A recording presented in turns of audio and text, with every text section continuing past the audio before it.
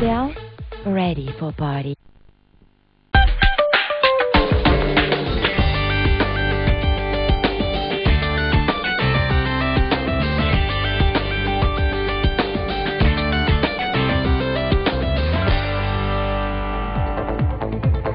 صباح الخير لكل مشاهدين الام تي في اليوم كمان بشرفني استضيف باستديوهات الام تي في كتاب فرنسيين وغير فرنسيين ولكن فرانكوفونيين موجودين بمعرض الكتاب ببيروت وكمان أصداء رائعة من هالمعرض اللي على طول فيه عم بيكون في أكيد زوار كتار وأكيد كمان الزوار الكتاب اللي عم يجوا أول مرة عم بيحبوا كثير لبنان وعم بيوعدونا.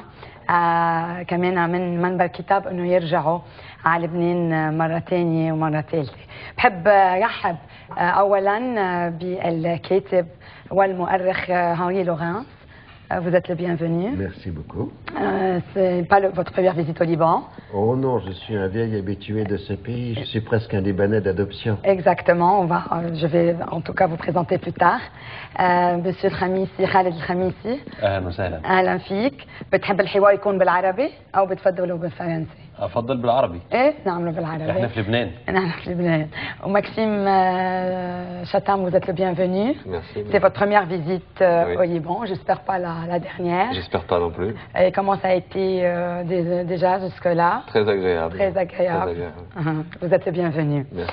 آه، بحب اعرفكم على اولا الكاتب آه، هنري لورانس اللي هو آه، من اصل آه، فلسطيني خلق آه، سنه 1900 آه، سوري أنغي لورانس euh, اللي هو آه، كاتب فرنسي آه، وكل آه، كتبه عن عن المنطقة العربية وعن المشاكل بين آه، بالعالم العربي الإسلامي آه، وهو آه، لديه دكتوراه بالتاريخ وبالأدب العربي وكما إنه متخصص بالشرق الأوسط. وهو أستاذ جامعي بالكوليج دو فرانس من سنة 2003 كما إنه عنده اختصاص بالتاريخ آه، العصري آه، للمنطقة العربية. وكان مدير تحرير آه، كمان مجلة مغرب مشرق من سنة 1991 لسنة 2002 كما أنه لديه إصدارات آه، آه، مهمة آه، وجوائز كمان أدبية. واليوم رح نحكي عن نوتر فرانس. كتابه اللي كتبه مع كتاب اثنين آه، غيره منهم آه، فاروق مرتم آه، باي اللي كمان منه آه، آه، من آه، يعني من أصل آه، آه، فرنسي. دونك نوتر فرانس votre euh, nouveau livre. Que vous Euh, non, je crois que vous faites une confusion avec Farouk Madame Bey. Moi, je suis l'auteur de Ah, la question de Palestine, tome 4. Je suis désolée, aujourd'hui, en tout cas, c'est pas mon, mon jour. Euh, je suis très désolée, c'est vrai, c'est Palestine, euh, tome 4. Donc, on avait vu déjà tome 1, tome 2, tome 3. Donc, c'est vrai que vous avez, vous parlez de, de la Palestine, euh, puisque euh, euh, euh, vous êtes d'origine palestinienne. Où Nous savons que euh, ce livre parle de 1967 jusqu'à 1982. C'est une période très critique où il y a eu aussi la, le début de la guerre euh, du, Liban. Pourquoi vous avez choisi euh, de raconter l'histoire de, la Palestine jusqu'à, peut-être il y aura encore euh, de 1982 à 2011, j'im- On j'imagine. la reprend simplement, probablement jusqu'à 2000. Je m'arrêterai à l'an 2000, mais c'est une entreprise considérable puisque ça fera cinq volumes. Et euh, j'ai commencé à partir du 19e siècle. euh, parce que tout simplement, il faut d'abord restituer les faits avant de chercher à les interpréter.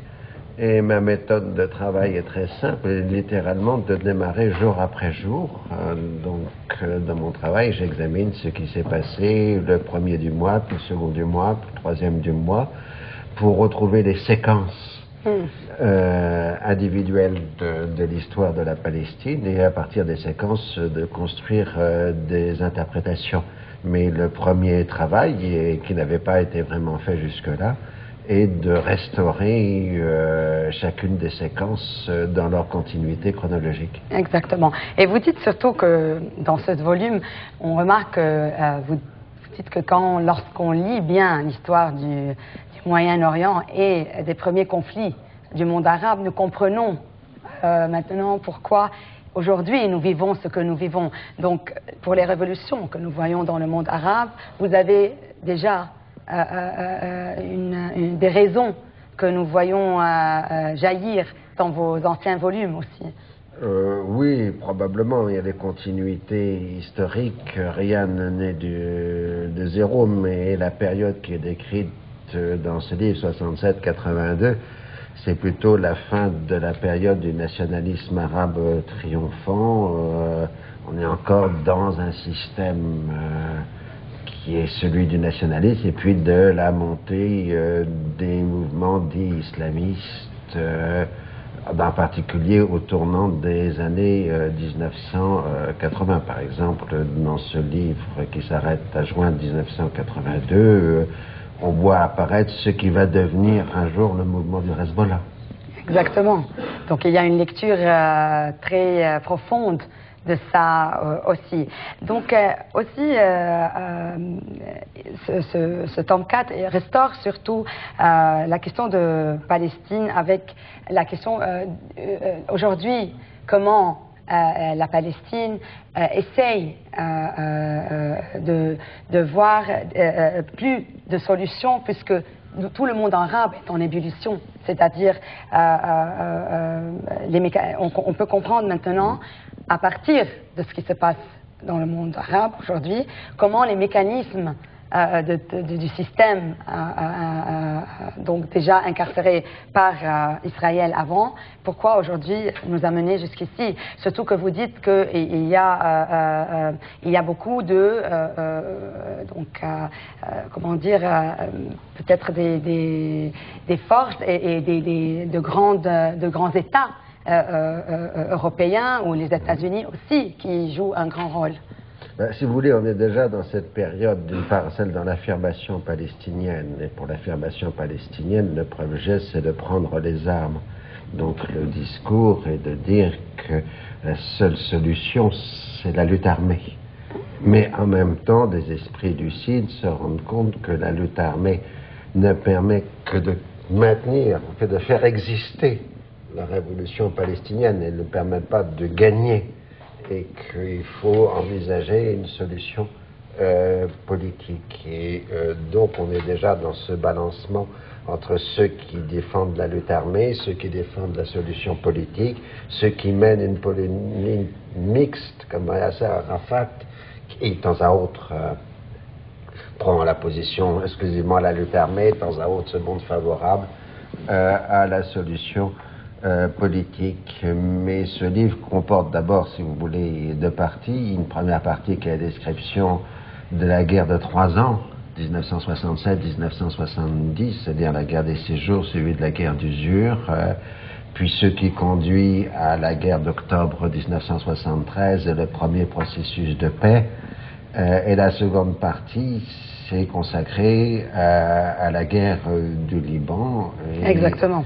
Et et de la- bon, évidemment, je le prends surtout dans le cadre de l'application palestinienne dans la guerre du Liban, mais on le trouve dans ce travail euh, une des descriptions euh, des terribles événements qu'a connu le Liban, en tout cas jusqu'à juin 1982, puisque le tome 5 Se termine. euh, commencera Ah oui, à partir euh, de 4 juin. de- de- du 4 juin 1982.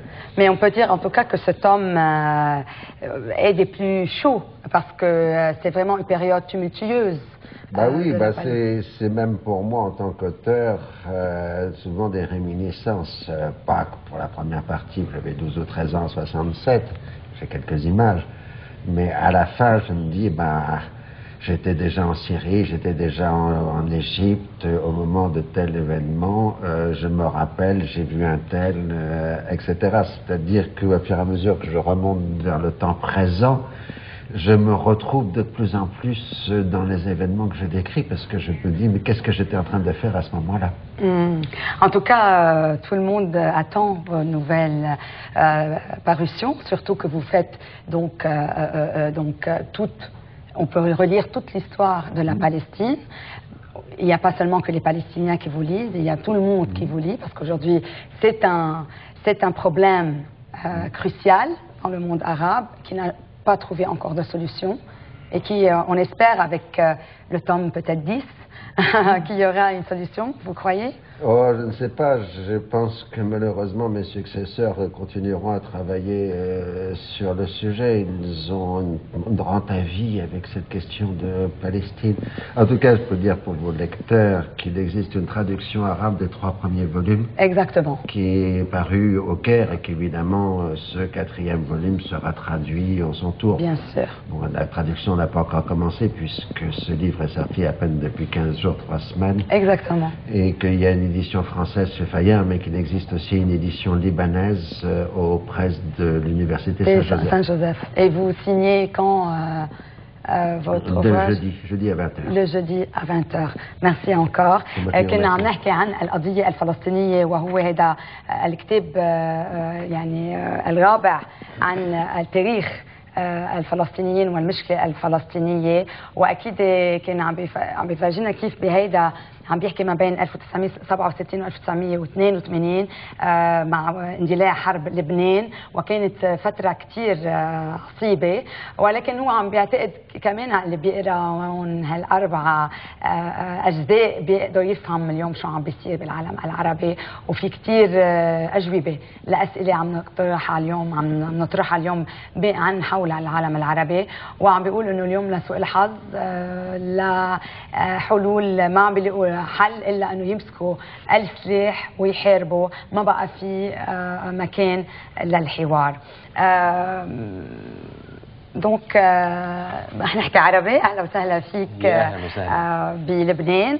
بنعرف أنه كتابك تاكسي أخذ آه، نجاح كثير كبير آه، وكمان أكيد ترجم آه، آه، إلى اللغة الفرنسية. وهو آه، آه، آه، آه، عم تنطلق حضرتك من آه، فينا نقول ظاهرة اجتماعية اللي هو التاكسي ولا تروح على أبعاد أكثر اللي هي أبعاد أكيد سياسية. اليوم نعرف قد إيه مصر آه، قطعت بثورة وين وصلت وين رايحة.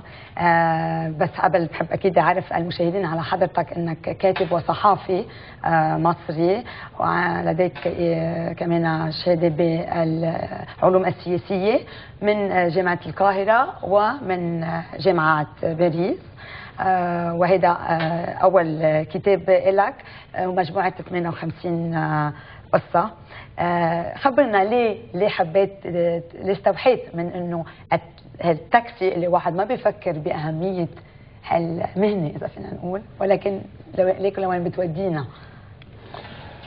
اللي حصل إنه في 2005 أنا شعرت إن في آه، حاجة بتحصل في الشارع القاهري في الشارع المصري. آه، كان في حالة فوران فوران اجتماعي. كان في حالة غضب كان في حالة آه، كان في مظاهرات حقيقية بدت مع الانتخابات التشريعية ثم الانتخابات الرئاسية ثم تمرير تعديلات دستورية لتمرير توريث الحكم. آه، في هذه الفترة كان في حالة غضب وكان صوت ال- اللي ما لهمش صوت بدأ يطلع بشكل أكثر وضوحا. في 2005 شعرت إن في آه، لحظة تحول في تاريخ المجتمع المصري. وأنا الحقيقة كنت عايز أبدأ الكتابة من حوالي 20 سنة. وعبر 20 سنة كنت دايما بتساءل آه، إيه معنى إن الواحد يكتب؟ في 2005 شعرت إنه أخيرا في معنى إن الواحد يكتب. وقررت أكتب عن اللي بيحصل في الشارع القاهري عن حالة الفوران دي. وتكتبي إزاي عن حالة الفوران؟ كانت الفكرة إنه آه، آخد آه، سائقين تاكسي لأن هم اولا ممثلين جيدين لل للفقراء المصريين اللي هم بيمثلوا من 55 ل 60% من الشعب المصري. وسائقي التاكسي في نفس الوقت آه، هو مكان للحوار لأنه البناء الحدوتة عندي قايمة على فكرة الحوار ما بين راكب وما بين سائقي تاكسي. والحوار في آه، زي ما الدكتور عبد الوهاب مسيري كتب في مسرح آه، مفتوح مكشوف ومتحرك في آن الوقت في شوارع القاهرة. لقيت إن دي فكرة جيدة. شخصيات شخصية سائق التاكسي شخصية درامية جدا بالنسبة لي لأنه هم مش مهنة في مصر. هم قرابة الربع مليون نسمة. نعم. والربع مليون نسمة دول ما بيمتهنوش حقيقة